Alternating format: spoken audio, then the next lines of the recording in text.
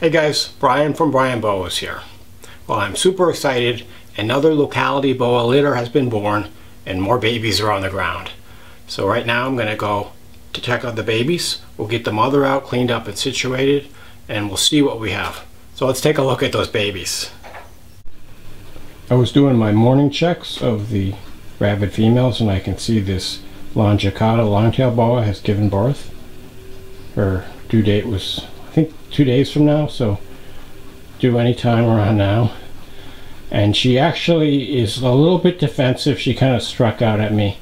So I'm not gonna get too close. I'm just gonna gently remove her from the enclosure and give her a soak in lukewarm water and then we can take a closer look at the babies. But it's just been a super busy last week. Just a couple days ago my qual litter was born.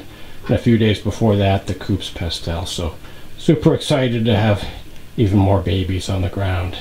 So let's get this female soaking.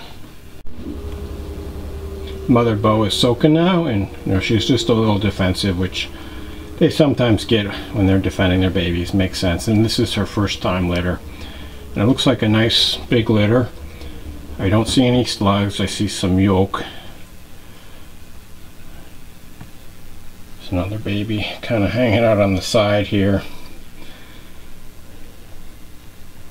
so and they look nice they look like they're fully formed and in good shape most of them look like they're moving. I, I see one I think might be a stillborn, but uh, we'll have to take a closer look.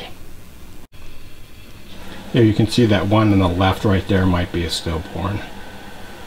And then you can see some yolk down there. Some little guys trying to get out of their amniotic sacs.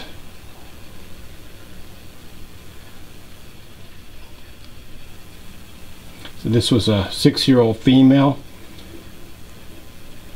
from uh, Vin Russo's bloodline produced by Sonia Comu. And supposedly the pair were het for anerythristic, so I might have uh, some aneries here if that's the case, 25% statistically, but I think with these longicauda, it's sometimes hard to tell if they're anerythristic since they're kind of black and white as it is. They don't have too much color, but Have to take a closer look. I pulled out anything that wasn't a live baby and actually those what I thought were yolks those are actually slugs. They're just kind of weird. They're kind of soft. Sometimes the slugs are really hard and rubbery. These are really soft and very gooey. And then you can see there was unfortunately one stillborn. And so not sure why this guy didn't make it uh, he looks fully formed you know sometimes they're just not uh, fated to make it in the world. Looks like he might have a few kinks in the tail. See that tail right there? It's a little bit kinky looking. So these guys will end up uh, in my garden, returned to the earth, and hopefully nourish some plants. Uh, but luckily, the rest of the litter look like they're live and kicking. So I'm just going to quickly take them out of the tub. I removed the litter. I have them now in a 56 quart Sterilite tub on paper towels and it's a pretty good sized litter 17 babies. I of course felt around thoroughly in all the substrate. I actually pulled a couple buried ones out that had hidden under the substrate.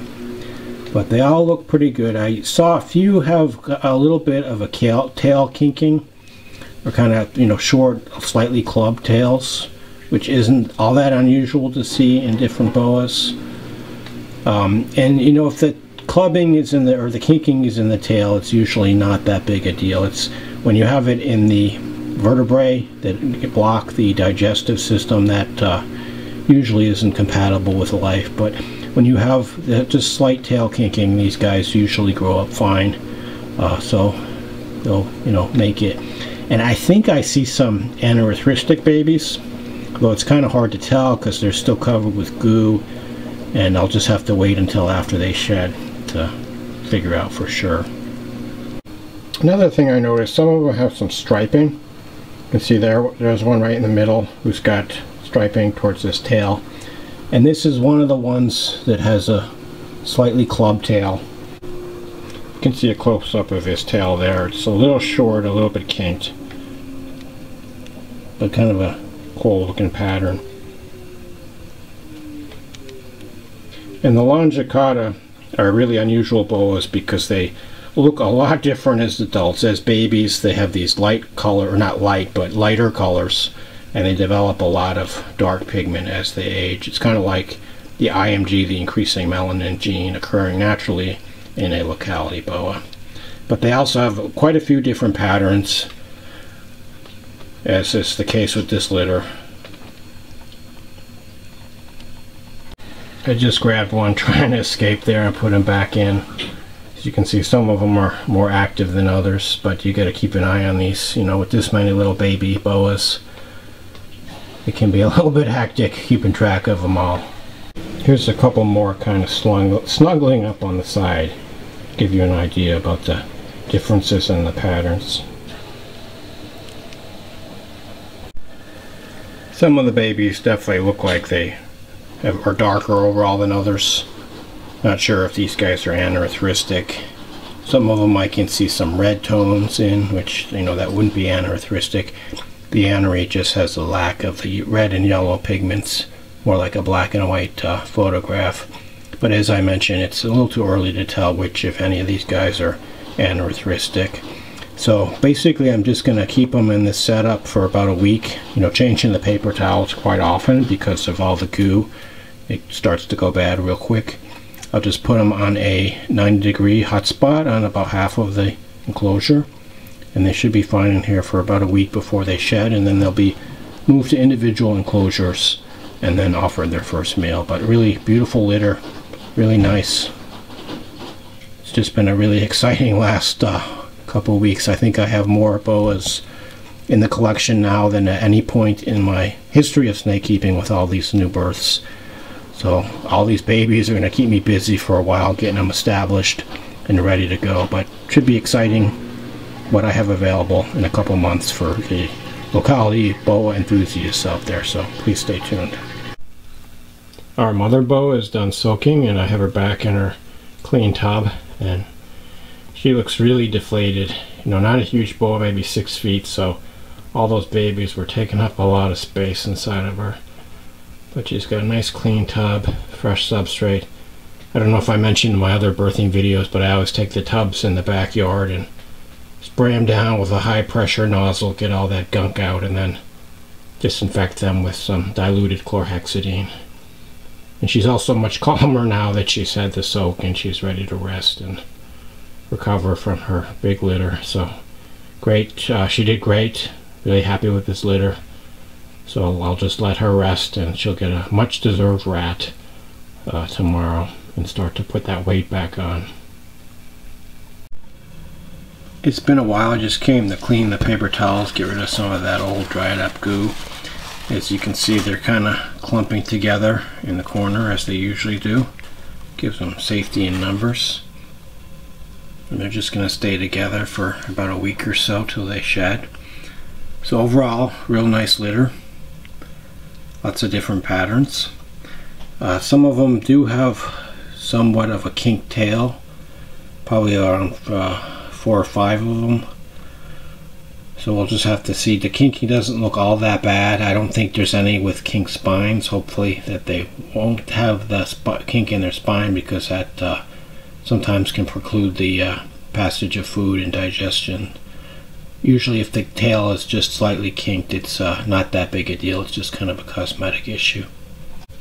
There's a close-up of one of the kinked tails and you can see it's kind of bent. I haven't seen a kinked tail like this before. It looks almost like a little bend and the tail is maybe slightly short.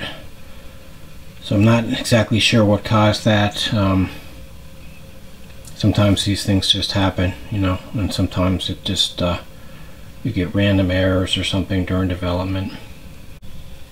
Here's another close-up. They're just kind of bunched up together to try to conserve heat. And as I mentioned, these parents were both het for anery, supposedly. I don't know for sure if I have any aneries. It's kind of hard to tell with these longicauda since they're already kind of black and white as it is. You know, they have some subtle reds in them. So maybe after they shed, I can tell for sure if I got any aneries or not. As you can see, I added a water dish Not that they'll probably drink that much, but it just raises the humidity and sometimes they want to take a little bit of soak to help them with their shed, which should happen in about a week or so. And after that, they'll go off to their individual tubs and hopefully start feeding quite quickly.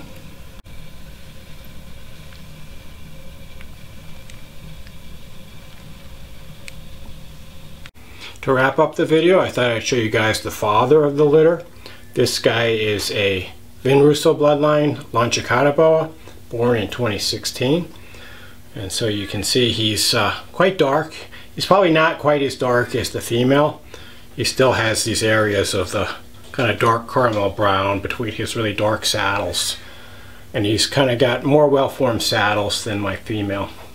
But you can see the beautiful patterns on his side and the whites and creams and dark colors as well. And then of course he's got the really dark head markings and all the belly speckles. And so this guy, you can see he's a good size. You know, these guys, I wouldn't call them dwarfs, but they're, no, they're certainly not giants. This guy's about six feet.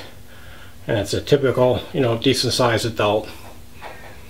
They're pretty easy to manage. They're not really aggressive. They're pretty easy as far as the husbandry pretty similar to a you know a common boa boa, boa imperator or you know like a common Colombian pet store type boa but uh, definitely a different look and so some of these guys from this litter will be available it's probably going to be about two months before they're ready to go I need to get them uh, shed at least probably twice and fed at least four or five times so I imagine that's going to take me until around September but I'll keep you guys posted, you know, with an update video once these babies have shed and I can get a better idea of what I have in the litter. And also, you know, I'll announce when they, are going to be ready for their new homes. So if you're interested in a longicauda boa from this litter, probably the best thing is just to pay attention to this channel. Subscribe if you haven't already for regular updates on available available boas. And if you've been following the channel, I've had you know a number of litters recently so a couple months from now, there'll probably be quite a few different locality boas available. So, you know, save your pennies and pay attention to the channel if you've been looking to get into a really nice locality breeding project. Or you just want a really nice pet, very high quality locality boa. Anyway, I hope you liked the video and found it somewhat uh, helpful.